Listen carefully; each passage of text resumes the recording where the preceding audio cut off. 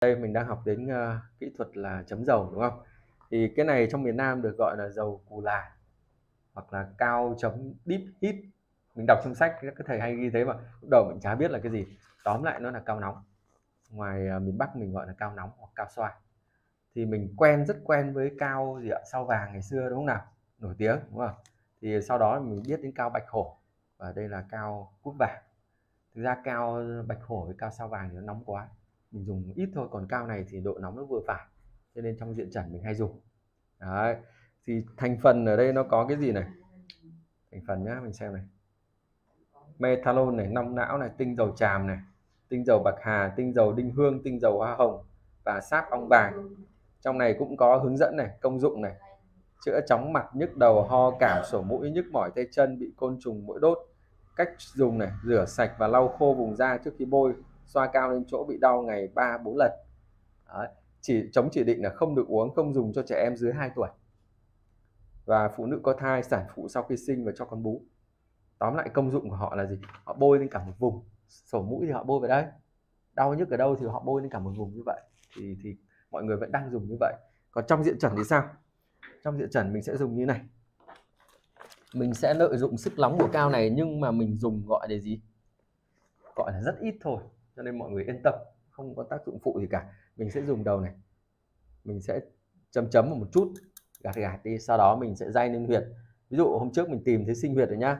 Thấy sinh huyệt ở đây, thì mình sẽ chọn day như này khoảng 30 tinh đếm, đúng chưa? Sau đó mình gạch gạch sang chỗ khác, thấy sinh huyệt ở đây, thì mình chấm chấm vào một chút. Mình ấn, chọn một trong ba cái ấn, một, hai, ba. Đấy.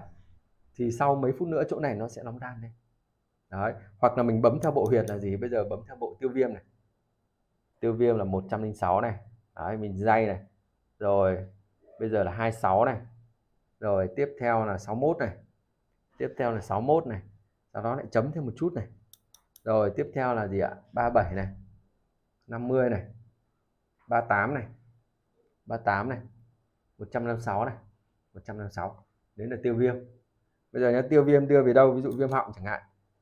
8 này 12 này 12 này 20 này 20 này 14 này 275 này 274 này. Rồi 14 này 274 này 275 đấy là bộ tiêu viêm đưa về họng. Chỉ thế thôi. Tí nữa các cái vị trí này nó sẽ nóng ran lên nếu mà mình có một cái máy chiếu mình quét vào ấy thì cái bộ huyệt vừa rồi ấy, nó sẽ sáng rực lên kiểu như vậy. Và nó sẽ phát huy tác dụng uh, tác dụng trong vòng từ 1 đến 4 tiếng đấy, thì đây là ý nghĩa của cái này. Thì nó cũng gia tăng thêm cái công lực của nó đấy. Trước mình chỉ dây không thôi đúng không?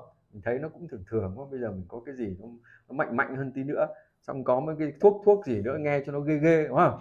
Đấy khách hàng đến đúng không? Bệnh nhân đến thấy ủa thầy cũng có cái gì đấy, cũng thuốc thuốc đấy, cũng dính dính đấy cũng cũng ấy đấy cũng thấy cũng hiệu quả đấy nhờ? Đấy. thực ra nhá những cái người bình thường hoặc người huyết áp thấp ấy, thì dây cái này nó tăng cao hiệu quả còn nếu mà những cái người huyết áp cao ấy mình không dùng được cái này ấy, thì mình dây không thì nó vẫn có tác dụng mà. Để qua nó có cái này thì nó gia tăng thêm thì mình càng tốt thôi nhá. Rồi ok thì đấy là cao. Xoa dạ rồi.